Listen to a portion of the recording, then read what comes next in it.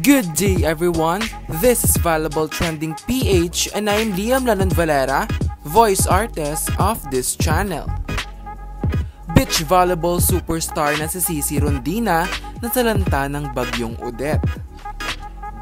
Ngunit bago natin pag-usapan yan ay huwag mo kalimutan mag-subscribe at i-click ang notification bell para lagi kang updated sa aking upcoming videos. Ilang araw pa lamang ang nakakalipas nang manalanta ang Super Typhoon Odette sa Pilipinas. Marami ang naapektuhan nito, lalo na ang kapuluan ng Visayas.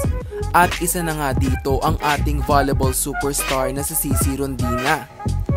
Dahil nga sa tabi ng dagat nakatayo ang kanilang bahay, matindi talaga ang natamo nilang pinsala sa bagyong ito. Ayon sa post nito sa kanyang Facebook account, wash out po lahat ng bahay dito sa amin. Kumakatok po ako sa inyo.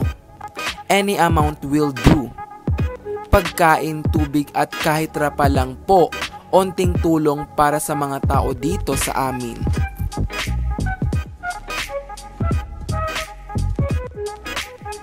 Isang malaking pagsubok ang kinakaharap ni Cici Rondina dahil sa bagyong Odette. Kaya naman humihingi ito ng tulong at malasakit hindi lamang para sa kanya kundi para na rin sa kanyang pamilya. Para sa gustong tumulong kay CC, narito ang GCash at bank account na pagmamayari nito.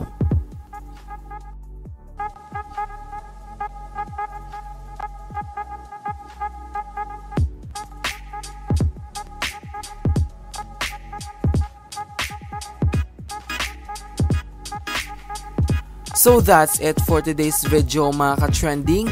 Don't forget subscribe at pinitin ng notification bell para lagi kang updated sa aking upcoming videos.